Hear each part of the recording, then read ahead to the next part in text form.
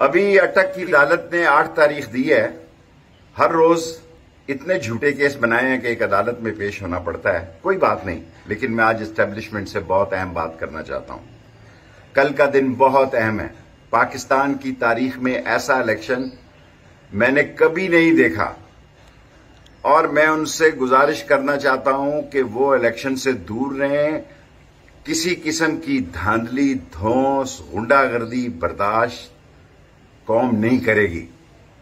और कल के इलेक्शन में आपने एस्टेब्लिशमेंट ने साबित करना है कि आप गैर जानबदार हैं।